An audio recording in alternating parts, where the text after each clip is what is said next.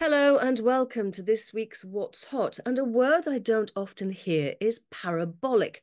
Well, the share is parabolic, says one appreciative investor about Mobile Tornado, a push to talk over cellular and workforce management solutions provider. That's a mouthful. But what has it done?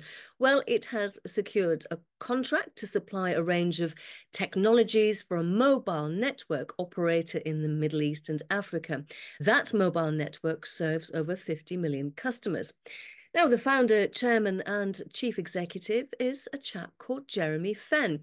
He has got form. He was part of the team that bought Leeds United in 1996. He was managing director for three years before he says he left the business in June 1999 with no debt, profits of 7 million, and it was fourth in the Premier League. He then joined Sports Internet Group as chief executive in June 1999, and his entrepreneurial initiatives just go on and on. Mobile Tornado isn't a share I'm familiar with, but today, indeed, the share is parabolic.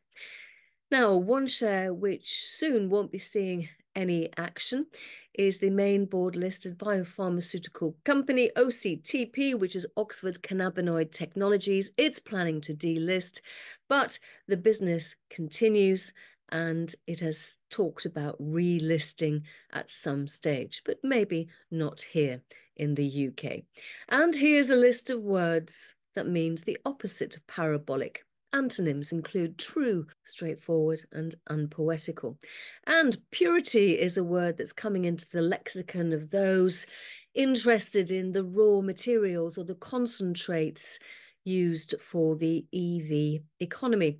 Now, Sovereign Metals has released a statement related to its Kasiya rutile graphite project. Now, this is the second time that I've mentioned this company over the past month. Now, this week's news is that tests have revealed low impurities, low sulfur, which, according to the chief commercial officer, Sapan Ghai, says is exactly what is required for graphite to work well within a battery.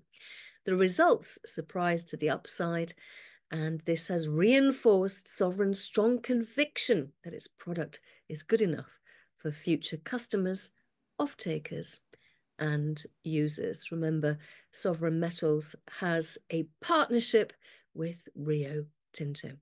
Okay, hope you're well. Take care. I'll be back same time next week.